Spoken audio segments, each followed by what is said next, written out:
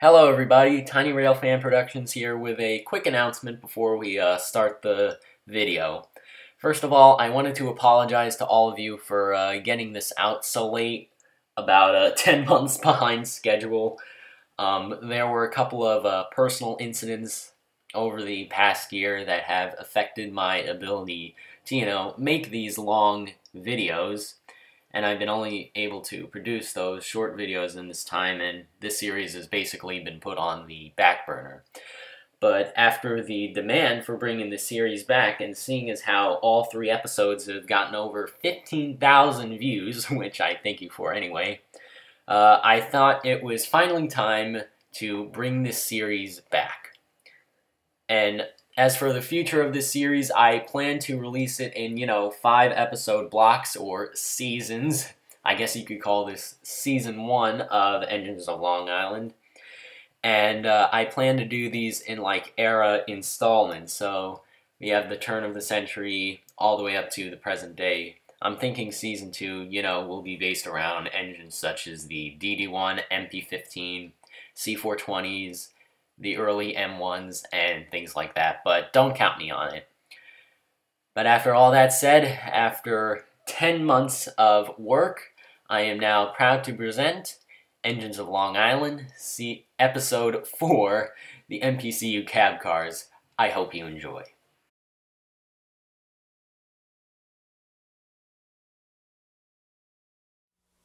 And now for our feature presentation. Hello everyone, this is Tiny Rail Fan Productions, and welcome back to a very overdue Engines of Long Island Railroad.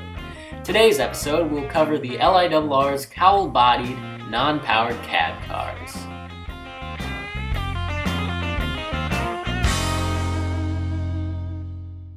During the early 1970s, American rail passenger service was in considerable trouble.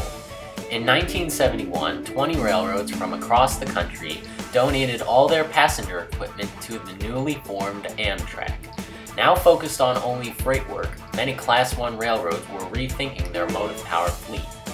Their primary problem was getting rid of their old cowl units such as EMD F7s and Alco FAs. Newer chop-nose locomotives such as the SD40-2, for example, had better visibility using a narrow hood and large windows on the front end. These newer units would prove better at switching too. Meanwhile, the Long Island Railroad had a motive power crisis on their hands too. They wanted to increase the number of trains they could run and reduce the amount of time needed to turn engines or train sets around. Their solution was to buy the old cowl units from various railroads for a low price, reuse their prime movers for head end power, HEP, and use their control stands as cab cars. NPCU stands for Non-Powered Controlled Unit. The LIRR had 23 various units. There were 19 Alco FAs and 4 EMD F units. Their origins were very diverse. From the Alcos, 600 came from the New York Central, later Penn Central, 601 through 606 from the Louisville and Nashville, 607 through 610 from the Western Maryland, 611 through 616 from the Burlington Northern, and 617 through 618 for the New Haven, later Penn Central. From the EMD F units, F9A 619 and 620 came from the Milwaukee Road, and 621 and 622 were former B&O F7As. These units were either equipped with Nathan K5LAs or Nathan P5As. Here are a few examples.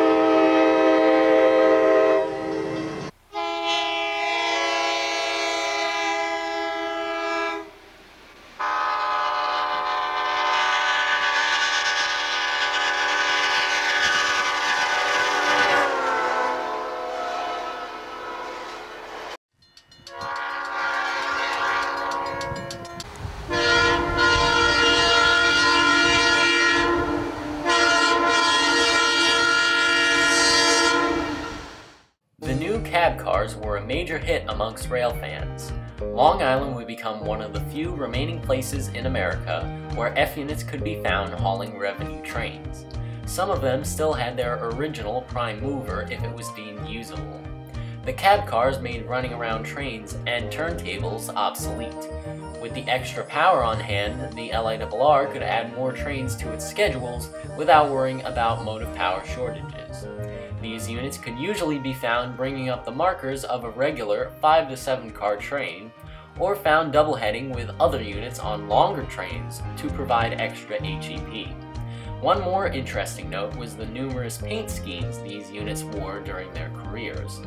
There was blue and white stripe, blue and white stripe with red lettering and pinstripes, P72 gray, blue, and yellow nose, gray, blue, and yellow nose and pilot, and super steel blue with yellow nose and stripes are only a few examples. With the advent of new C3 bi-level commuter cars and later DM30 locomotives in the early 2000s, the units were slowly retired and eventually scrapped. Out of the 23 total NPCUs, 10 survive today. 602 is now up and running at the SMS rail lines in Bridgeport, New Jersey, and is being repainted into its original L&N scheme. 603 was moved to the Southern Railroad of New Jersey in Winslow Junction before it was purchased by the Anthracite Railroad Historical Society. 605 is still in super steel blue and sits at the Tennessee Central. 607 was repainted into its original Western Maryland colors and sits abandoned at the Georges Creek Railroad in Maryland. 610 was sold to the Western Maryland Railroad Technical Historical Society in 1995, its future unknown.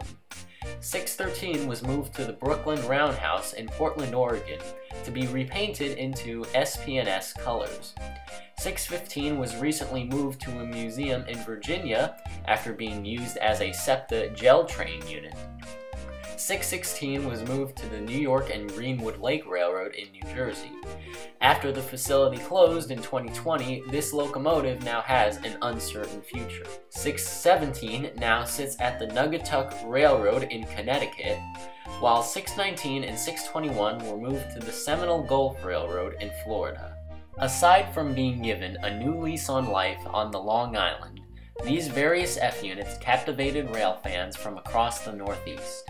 They operated in the last decade of the 20th century, paving the way for the modern LIRR we all know today. Despite their somewhat brief service lives, they are still considered an essential part of the engines of the Long Island Railroad. Thanks for watching everyone. Once again, I'm sorry for delaying this for so long. But don't worry, I'll remember to still keep making these. Anyway, if you'd like to see more Engines of Long Island and other videos that I make, consider subscribing to my channel. Also, special thanks to all the following people on screen for letting me use their clips and photos for the making of this video. And stay tuned for the final episode of Season 1, where I will discuss the modern LIRR and the M7 fleet. See you all soon, everybody.